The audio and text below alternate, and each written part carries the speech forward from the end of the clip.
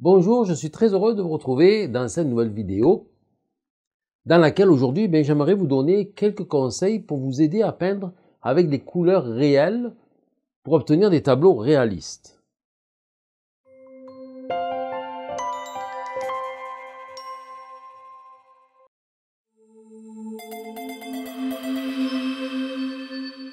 Si c'est la première fois que vous regardez cette chaîne YouTube, alors je me présente, je suis René Milone, artiste peintre professeur de peinture, je donne des cours de peinture en ligne sur un site internet et j'ajoute des nouvelles vidéos sur cette chaîne YouTube tous les mercredis.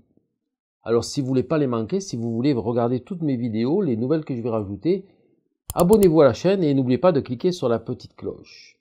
Comment trouver les bonnes couleurs afin d'obtenir un tableau réaliste? Lorsqu'on débute en peinture, on n'a pas encore vraiment beaucoup de connaissances ni d'habitude pour s'aventurer dans des interprétations qui risquent bien sûr de nuire au résultat sur la toile. Et à ce moment-là, ben, la peur s'installe, on a peur de manquer le tableau, on ne sait plus trop comment faire. Alors, la photo, c'est vraiment notre seule référence, c'est sur la photo qu'on va se baser, la photo du modèle, pour euh, faire notre tableau.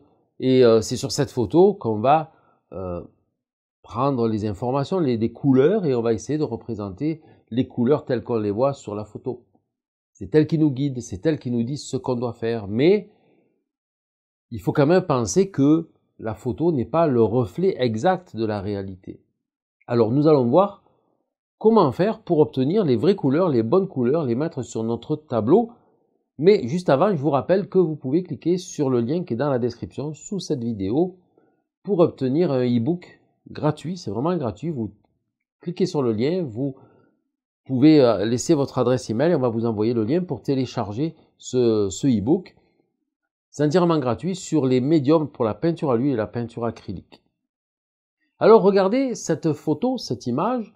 Voici la photo d'un tableau qui été peint sur le vif, sur le motif, euh, devant le sujet en vrai, hein, et comparez un petit peu les couleurs euh, de la forêt là-bas à l'arrière-plan, les couleurs des champs, les couleurs de la route, comparez-les entre le tableau et la photo, euh, pardon, le tableau et la réalité, puisque j'étais devant, devant ce paysage au moment où j'ai fait ce tableau. Et ensuite de ça, ben, j'ai imprimé, j'ai pris une photo sur place, puis j'ai imprimé la photo. Et cette photo imprimée, je l'ai mise à côté du tableau. Et regardez donc cette deuxième image qui vous montre bien la photo imprimée et euh, le tableau que j'ai peint. Alors vous avez vu que les couleurs du tableau correspondaient aux couleurs réelles qu'il y avait sur le paysage, mais la photo imprimée ne reflète plus du tout ces couleurs.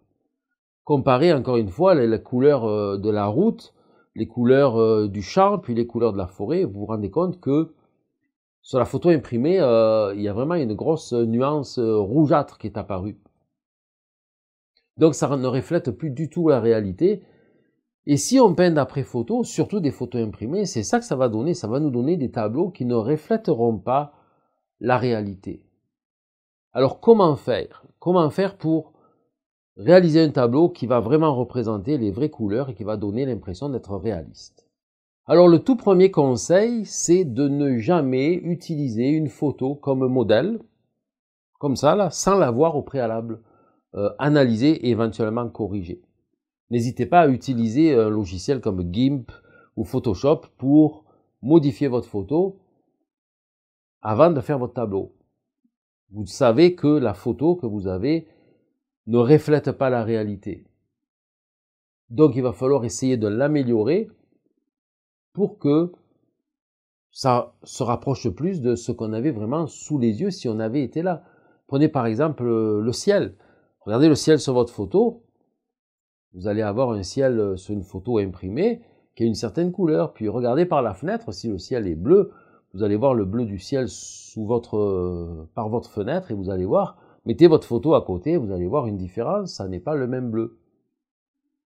Donc si on veut obtenir les bonnes couleurs, il va falloir regarder ce qui est en vrai ou bien apporter sur votre photo la modification, la correction. Souvent, la première correction qu'on devrait faire, c'est toujours un petit peu, euh, on va dire, enlever le voile, comme on dirait.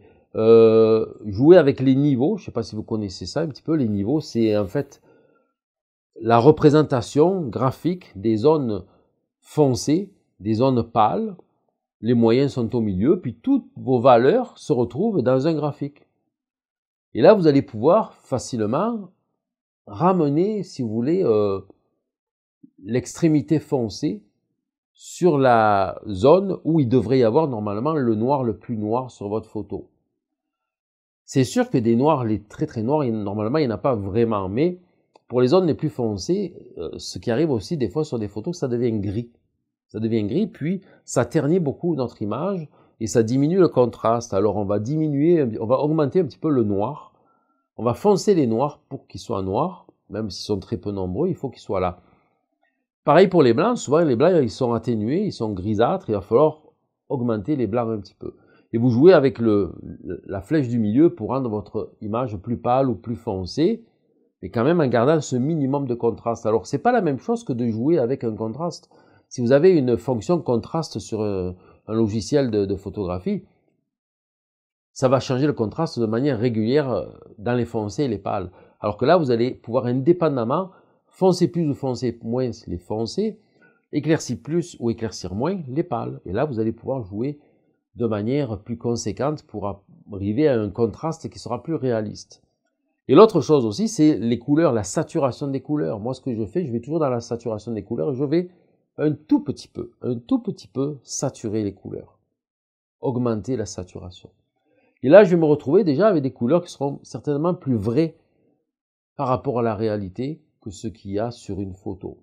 Parce que veut, veut pas, que ce soit pris avec un téléphone, même très performant, un excellent appareil photo même, hein, euh, prenez un Canon EOS, euh, moi j'ai le T5i, bon, ça commence à dater un petit peu, mais ça fait des super belles photos, mais quand même, il y aura, ça passe, l'image passe à travers des lentilles avant de venir être captée sur le capteur. Et forcément, elle perd de la qualité. Donc, ne prenez pas votre photo comme la réalité, dites-vous, il faut corriger ça un petit peu. Le deuxième conseil, ben c'est ça, c'est regarder, je vous l'ai dit, par la fenêtre. Et là, vous allez voir les vraies couleurs. Par exemple, euh, le ciel, comme j'ai dit, mais aussi ça peut être le gazon. Vous dites, mais je suis en train de faire du, gazon sur mon tableau, puis j'ai pas la vraie couleur, j'ai du mal à la faire. C'est comment du gazon en vrai? Peut-être qu'il y en a devant chez vous, regardez par la fenêtre, et s'il y en a, allez-y. Prenez cette référence comme couleur de gazon. Vous en avez certainement dans l'ombre et certainement dans la lumière. Alors c'est sûr, attention, il faut calculer aussi l'éclairage. Si dehors il, est 5 heures du soir, euh, qui va bientôt faire nuit, ou bien que le ciel est couvert et sur votre photo il y a du soleil et c'est midi, c'est pas la même chose. Il faut vraiment être conséquent dans les, dans les cohérences de, de l'éclairage aussi. Mais quand même, ça vous donne une idée. Euh, le gazon, ça peut être la couleur d'un mur en brique, la couleur d'un mur en pierre. Euh, toute référence que vous avez sur une photo, vous pourriez aller la voir dehors, en vrai, alors sans être devant un sujet et un motif, mais au moins voir comment c'est fait, c'est bien. Puis, même si vous n'êtes pas en train de peindre, lorsque vous faites de la, randonnée, lorsque vous allez promener, observez comment sont faites les choses et comment euh, vous les représenteriez en, en, peinture s'il fallait euh, les peindre, qu'est-ce que vous utiliseriez comme couleur, regardez les contrastes, vous dites, ah ben oui, ce contraste-là, il est fort, il est puissant, c'est ça que je devrais avoir euh, sur un tableau normalement. Vous voyez, ces choses-là. Le troisième conseil, ça serait d'utiliser toujours des photos numériques. Euh, n'imprimez pas, en quelque sorte, n'imprimez pas. Si vous avez la possibilité d'avoir à côté de votre tableau, votre, sur votre chevalet, une tablette numérique, avec la photo sur la tablette, ça sera toujours mieux qu'imprimer. Imprimer, on perd vraiment la qualité, euh, on perd les couleurs, on perd les, les, valeurs, les contrastes. La photo numérique sera toujours mieux. Parce que je peins d'après photo, moi, j'ai mon ordinateur ici dans mon atelier avec un écran à côté de mon chevalet. Ma photo, je la mets sur Photoshop, j'apporte des petites corrections, je la fais apparaître sur mon écran numérique. Et puis même là, des fois, une fois que je suis dans mon studio avec mes éclairages là, je me dis, ah, à cause des éclairages qu'il y a ici, c'est peut-être, ma photo est peut-être un petit peu trop, euh, trop grisâtre, trop pâle. Alors je vais booster encore un peu, accentuer les contrastes et la saturation pour que la photo me paraisse belle dans l'environnement où je me trouve actuellement. Alors peut-être qu'elle était belle dans le bureau, sur l'écran de l'ordinateur de mon bureau à l'étage, mais ici, je suis dans le sous-sol. Sur l'écran de l'ordinateur, avec l'éclairage que j'ai ici, ça marche plus. C'est là où il faut que j'apporte les modifications. Vous voyez Les écrans, ça y fait aussi. Mais si vous avez une photo numérique, c'est toujours, toujours mieux. L'avantage aussi, c'est de pouvoir zoomer sur certains éléments. Ce qui va nous permettre d'avoir une référence plus, plus proche de la vérité. C'est pas la vérité, mais c'est beaucoup plus proche de la vérité. Et on va faire des plus beaux tableaux. Des tableaux plus réalistes. Le quatrième et le dernier conseil que je vous donnerai euh, si vous voulez peindre les vraies couleurs pour vos peintures, pour vos tableaux, avoir des couleurs les plus réalistes possibles, c'est d'aller peindre sur le vif, sur le motif. Alors c'est sûr, si c'est du paysage, il faut aller dehors. C'est des natures mortes, c'est à la maison. Portrait, euh, tout ce que vous voulez, ça va rester à l'intérieur. Mais pour des paysages, il faut aller dehors. Ça, c'est la, meilleure école, on n'y échappe pas. Et si vous allez devant euh, votre sujet, vous le voyez, vous allez pouvoir faire les couleurs sur votre palette, les comparer avec votre sujet et avoir la couleur exacte, exactement pareille que vous allez pouvoir poser sur votre toile, comme la première photo que je vous ai montrée au début de cette vidéo. Je on va dire que je, je m'attardais à faire les vraies couleurs que je voyais. C'est pas tout le temps que je fais ça. Des fois, j'interprète lorsque je suis dehors. Même la plupart du temps, j'interprète j'interprète beaucoup. Mais là, si je veux avoir les vraies couleurs, je suis capable d'aller les chercher parce que je suis devant. Alors, vous allez pouvoir peindre les vraies couleurs, les faire comme ça, les mettre sur votre toile à chaque fois que vous allez aller dehors. C'est sûr que c'est contraignant, hein, il faut qu'il fasse beau, euh, on se trouve tout plein d'excuses pour pas y aller, ah ben ça prend trop de matériel, il faut que j'apporte ça, il va y avoir du monde, ils vont m'embêter, ah ben il risque de pleuvoir, il y a des nuages, la lumière va changer, j'aurai pas le temps, il va faire nuit avant que je finisse. Des excuses, on en trouve plein, surtout si on travaille lentement et qu'on veut faire des tableaux très réalistes. Hein. Mais utilisez euh, la méthode de peinture en extérieur pour des exercices, pour vous habituer. Prenez des petits formats, allez-y rapidement, prenez juste des références. Prenez une photo, j'ai mon, paysage, c'est bon. Là, maintenant, sur le vide, je vais faire un schéma très rapide de mon sujet. Là, je vais mettre, je vais chercher la couleur de l'herbe, ça c'est la même, je la mets là où il y a de l'herbe. La couleur du ciel, je la fais, ça c'est la même, parfait. J'ai réussi à faire le même mélange, je le mets sur mon ciel, juste un coup de pinceau. Ce sont mes références de vraies couleurs.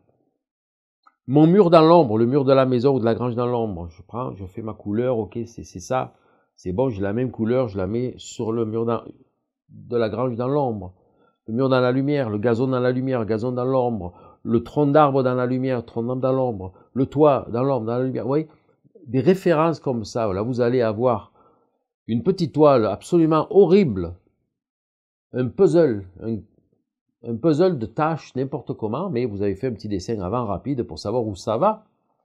Vous arrivez chez vous, vous avez les vraies couleurs, là vous dites, bon, mais maintenant j'ai pris ma photo, imprimez-la la photo, mettez-la à côté, vous allez voir, bah ben oui, c'est sûr, si j'avais peint mon ciel comme ça, mon tableau serait pas beau. Hein, alors là, vous allez pouvoir faire le ciel de la couleur qu'il y a sur votre petit tableau que vous avez fait sur place. Vous avez la photo de référence pour le dessin, les détails, tout ça, mais vos couleurs sont là en référence. Et là, vous allez pouvoir réaliser un tableau qui sera vraiment très réaliste par ses couleurs et puis sera très intéressant. Ce sera plus beau que d'après une photo. Quelqu'un qui va voir votre tableau, il va pas dire waouh, c'est beau, on dirait une photo. Il va vous dire waouh, c'est plus beau qu'une photo. C'est ça l'importance, voyez. Voilà. C'était ces quelques conseils-là que je voulais vous donner aujourd'hui. C'est pas long, c'est vite fait. Mais c'est important de le savoir, puis c'est des petits trucs qui, je suis sûr que vous allez dire, ah ben peut-être, euh, j'avais pas pensé à ça, mais c'est vrai, c'est une bonne idée ça. Mais vous savez quoi? Euh, Votre exercice de, de, peinture sur le motif, vous pouvez le faire à l'aquarelle, à la gouache, en acrylique, même si après votre tableau vous le faites à l'huile. Juste pour dire, ben ma toile, mon petit morceau de toile ou de carton, quand je vais le transporter, je vais pas salir ma voiture, je vais pas en mettre partout, ça sera déjà sec. Je fais ça très vite. Ce sont des références que vous allez prendre de cette manière-là. Vous voyez? En racontant euh, ces conseils-là, en même temps, les idées me viennent et puis c'est à l'infini tout ce qu'on peut faire, tout ce qu'on peut euh, penser, trouver comme idée pour nous aider à faire de la peinture et obtenir vraiment des peintures euh, belles, réalistes par leur couleur. C'est bon? Alors voilà, c'était ces petits conseils-là. Petite photo de référence, euh, pas plus que ça pour aujourd'hui. Je suis un petit peu désolé, mais ça va être ça. Euh, si vous avez des commentaires, des questions, Euh, mettez-les dans l'espace de commentaires sous la vidéo, vos expériences aussi, racontez-nous tout ça, on le lit. C'est sûr qu'on le lit, vous inquiétez pas. Les questions, on y répond aussi la plupart du temps dans la vidéo du samedi. Hein, avec Linda, on va répondre à vos questions. Alors n'hésitez pas à les poser. Moi, ça me fait tout à fait plaisir de, de voir que vous réagissez comme ça. Et si vous avez aimé cette vidéo, surtout n'oubliez pas de mettre les pouces en haut, la liker et la partager. Merci beaucoup et à très bientôt pour une autre vidéo. Bye bye